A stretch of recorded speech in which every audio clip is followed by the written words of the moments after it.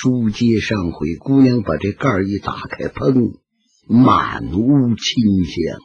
姑娘仔细一看，万雀千真，一点儿都不差，正是千年鹿胎草。哎呀，冲着和尚说：“感念您的恩德呀！这样的灵芝宝药，无价之宝，诸位无一不感谢。”老和尚说：“能够为一个国家的英雄见官治伤，也是理所当然。他这个药也值得了。”算是应该尽到他的价了，那我们就谢过姑娘，这才把小盒盖好，用包皮包好，背在自己的身上。诸位将官对老和尚是千恩万谢，和尚一直送到寺外，出来多远？魏小初说：“老人家本来应该在这儿多待，因为那个地方还有伤者，所以不能在你老这儿多盘桓了。哎呀，等事毕之后，于大人我会看他去。姑娘，你和你父亲要能来的话，那就最好了。周老，咱们后会有期。周兰姑娘，你也是一样。这些人都告辞离开了宝刹。”往回走，半路上正碰上董兴带着病。董兴得问呐：“怎么样了？有什么事没有？真假呀？”姑娘把这些详细一说。哎呀，大家喜欢的了不地，赶紧带着兵保护着这个药，回到大兵营。等到了兵营里面，到中军大厅见着于谦，说明此事。一字不落，魏小初一回，于谦大人喜出望外，真没想到这位老和尚如此深明大义。于谦抽时一定我要到宝刹去谢过人家的恩德呀。那位魏老把这个小盒先拿过来打开，还不放心，看看，哎。一瞧，确实是千年鹿胎草，一点也不差。大人呢，后边那几间屋子得给我腾出来。我带着周老，就周巡，因为他懂一些医呀。还有周兰姑娘，再加这小初，我们几个得三天才能把这药制成。那好，于大人答应，三天把这药制成了。咱们中药不就是丸散膏丹啊？药丸呃，面儿叫咱们叫散，什么这个冰硼散呐，什么什么散呐啊？再不叫什么这个丹那个丹，这个药丸共计治了二十丸，还有一些能治，但是这二十丸那可了不得呀！就在药一制成，大家伙无不欢天喜地呀。魏相伯向于大人一说，于谦亲自陪着周巡、周兰、魏小初和魏相伯来到李廷玉的房间，大家都笑了。李廷玉早已经知道这件事情了。李廷玉冲着魏相伯说：“老人家还有周老二位小姐，我李廷玉现在不能够下去大礼拜谢，感念恩德。”救我性命，真是重生再造之恩。魏老一摇手，哎，哪里话来？李青玉又说：“特别是这长时间，他瞅了魏小初一眼，姑娘对我天高地厚，那却是要没有魏小初这么一个人在身旁侍奉着，李青玉这时候就把药拿来。”那怎么地也都很难说呀，甚至早都死了也是，全仗了魏小初怎么样伺候着。魏小初知道啊，特别是李廷玉总要运功，那还了得了。特别是什么时候吃饭，吃什么，怎么地，那都精心安置。魏老说：“李英雄，这个药啊，共计制了二十丸，其实你自己用不了。”一天你就吃两丸，吃过三天去，你一天用一丸就可以。你到七天之后，李英雄你就功力恢复，普酒如初，完全复原。哎呀，李廷玉一听，那可太好了。又一往后瞧，于大人也来了。李廷玉稍稍欠了欠身，于谦说：“赶快，赶快，小楚姑娘，你就给廷玉用药吧。”小楚姑娘这才把药研开，慢慢一点一点给李廷玉喂下去。这个药还不能够说得了，把大药丸子像咱们没什么大病似的。吃这个丸子药呢，有的揪开，还有的整个的搁嘴里嚼了的，什么样的都有。这个李廷玉这个伤不行啊，得慢慢研开了，一点一点灌下去。于大人也放了心了，这些人都非常高兴啊。李廷玉就头一丸药一下去，就觉着鼻孔出气儿清香啊，非常舒畅。连眼睛都觉着过去好像锈似的，这回则不然。李廷玉把自己的感觉跟魏小初一说，小初就乐了，说：“李英雄，这一回您就好了。”魏相伯说：“就不要打扰了，这么的吧，小初，就你自己在屋里边好好侍奉着，我们大家在外边安排别的。”这才大家撤出来。其实就在给李廷玉寻药治伤的同时，于谦已经在各地把兵马都调齐了，布置好了。你不能单单的因为这么一个人治伤，整个数十万的大兵大部队搁在那个地方不管，那哪能行？把兵马都布置好了，正是李廷玉用药的第。三天，于谦大人告诉我，今天一场大战，把洞庭拿下。诸位将军看意下何如？这些将官们早都知道了，特别是那些头头们，当然下级官员不知道。那些总兵和于谦自己的亲信将官都知道。大人，请您下令吧。好，由罗彦、董兴、王傲。三个人带全军队，从两侧和中间三面由站牌那儿绕过去，把火炮准备好了。过去可惜那个火炮啊，它不像现代的非常笨，得装上药，呼通一下子，哎，放出去。主要是火箭，箭头上啊缠上东西，蘸上油。把这个箭头点着了，噌一下子射到对方的船上，使对方船上起火。箭都预备好了，水战箭当先嘛。于大人又把寺外凡是能作战的民船都征用过来，钱分文不少。如果作战打坏了，全部包损，一点都不带少的。那老百姓说呀。只要能把洞庭这个祸害给我们灭了，我们怎么地都高兴啊！于大人说：“开船奔洞庭。”于大人坐在中间的话，船往洞庭，水大的船帮，船压水浪，那探子就洞庭的赶紧往回跑啊！洞庭的人们正在他们的中军大厅里边商量着这些事呢。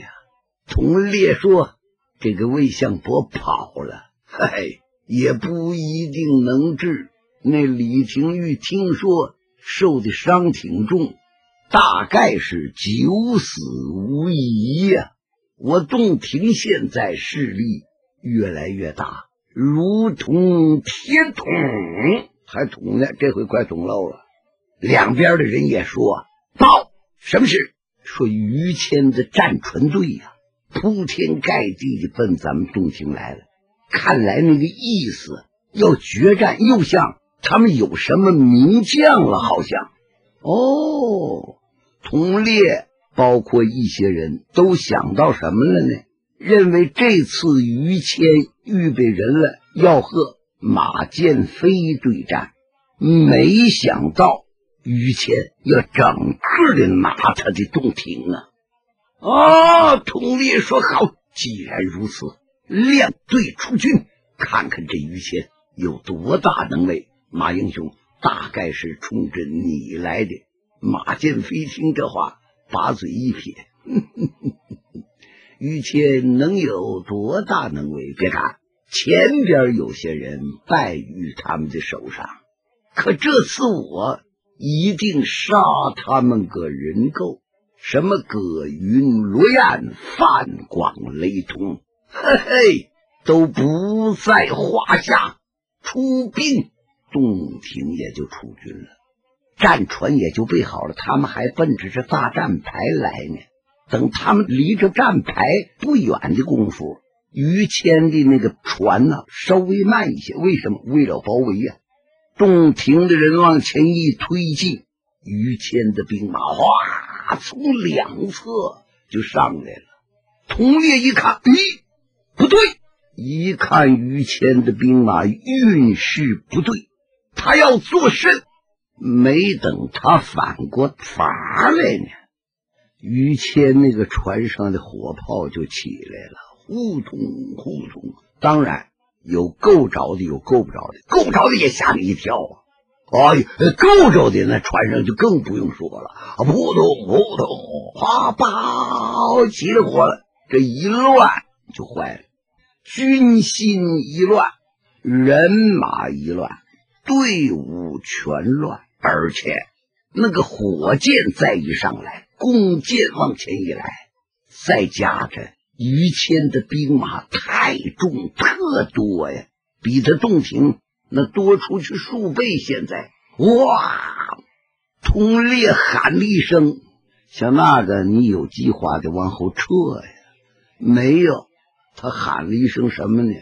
不好，跑！哇！马建飞一看，咦，这他还等着打仗呢。这个功夫，他一个人已经显得无力了。你杀一个人家上俩，你杀四个上八个，大部队作战往上冲杀，士气又厉害，那哪儿提扛得了？马建飞暗道：不好，我不能动停再战。如果我要再跟着同烈在一起，本来这个同烈是个窝囊废，从这两天一谈，我也看出来了，他用兵根本不行。我要在这儿继续待下去，兴许跟他们同归于尽。莫不如我干脆捅，是投水逃去。马建飞走啊，别人没看见，因为正打的乱逃的功夫，哇！这大兵就杀到了洞庭的岸边了，同列的人呢死伤惨重。等到大船一到岸边了，于谦的大兵由董兴、王傲、罗彦指挥着，人往上一冲，同列在前边，有他自己的一些个亲将，带着人还往回跑，准备。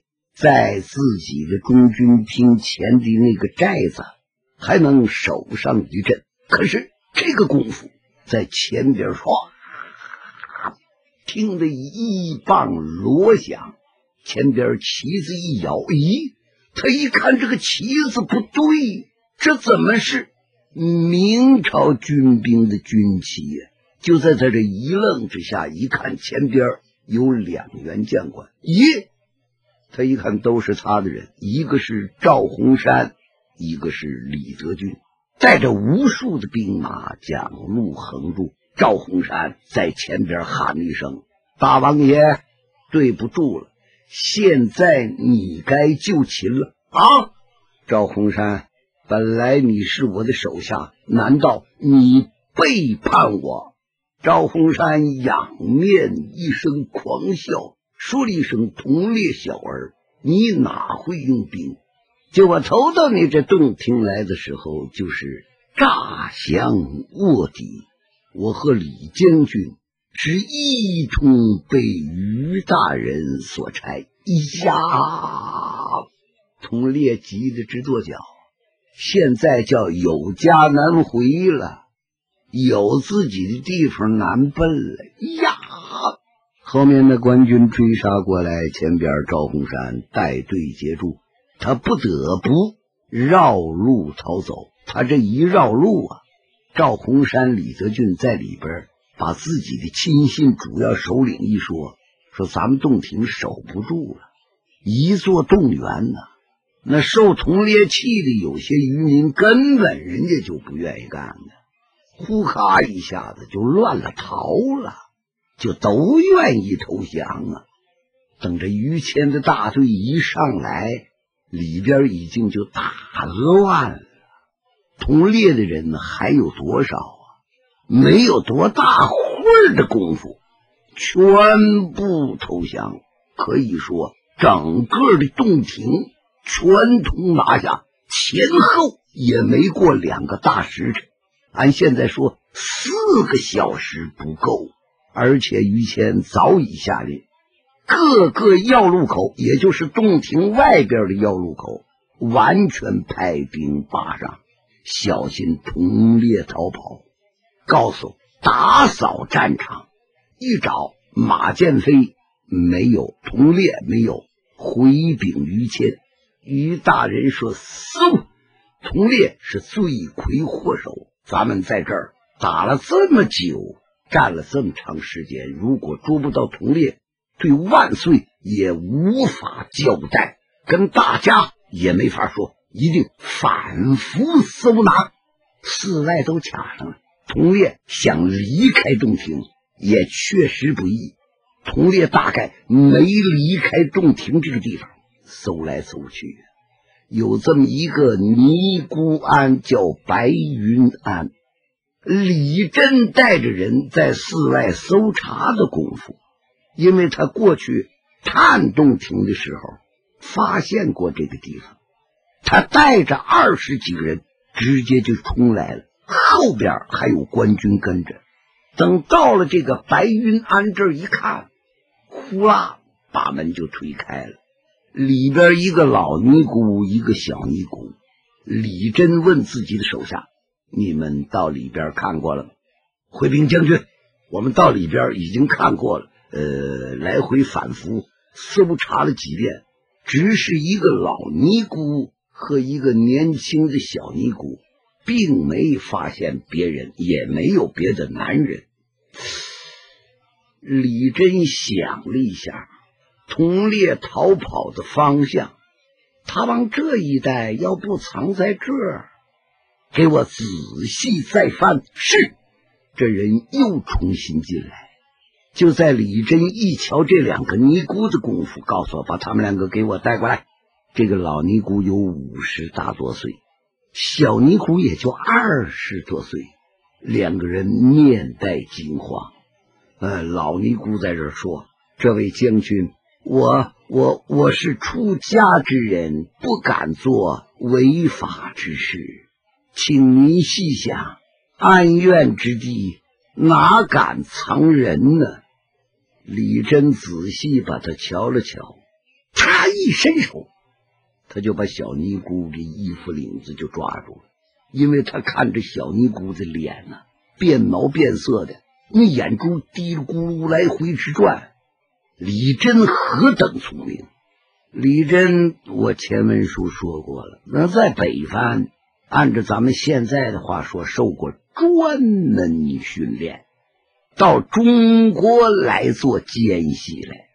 现在到了于谦大人这个地方了，多些事情，李真主一半儿他一看这个人，就带着变毛变色，啪，把宝剑。闭烟短剑就给他脖子放上了，把这小尼姑吓得，哎呀，扑通就跪那个地方。呃，这这个将军饶命！你给我说实话，同列藏在哪儿？或者还有什么事儿？稍微的有一点差，擦！他把他衣服领子拿剑一错，就把领子给他错开了，都没拉着他肉。这里边有这么事儿，万一这尼姑嘴里边又问不出什么来，或者真没做什么，那你随便把人给杀了，或者是怎么地了，那也是不应该。李真哪能那么做呢？把衣服领子给他拉开了，那意思就往里去。你给我说！小尼姑吓得魂飞天外。啊！哎呀，这这个将军，我我说我说我我我都是说。那好，你讲这这个。他一瞅那老尼姑，老尼姑冲他一瞪眼。李真一声冷哼，回头告诉来人，把老尼姑给我绑了。是五花大绑就勒起来，没有我的话，绝不许放他。甚至像这个老尼姑在这儿跟同列有所勾搭，定杀不饶。你给我说，他冲着小尼姑。李真的剑一舞一错，他的脖项。你给我说实话，有一个字假的，我就把你的头摘下来。是这么回事我本来是良家女子，被同烈抢了来，逼着我跟着他，我敢不跟吗？当然了，他给了我们家不少钱，也给了我不少好东西。那那那，他瞅又瞅瞅老尼姑啊，那是我老师，他们是一起的，因此逼着我就跟了同烈。同烈藏的那个地方就在这个后边，呃，那个有有一有一张画挂着呢，那个画要接起来是个门门是个洞，到里边有一间小房。那房后边还有别的道通别的地方吗？不通，到那儿就堵住了。李真听这话，啪一撒手，把小尼姑就摔在了旁边，只说了一个字：“绑！”擦擦擦，一身就奔后边去了。那些官军跟着，哗就到了后边。真是挂着一张画，把这张画咔嚓往旁边一扯。扔到旁边，正是一个门，咔嚓一脚踢开，李真往旁边一闪，擦，这里边唰唰唰唰唰，多少箭飞出来，就得说李真换一个人就得死在这里。李真说：“同意，你还想走吗？请听下回。”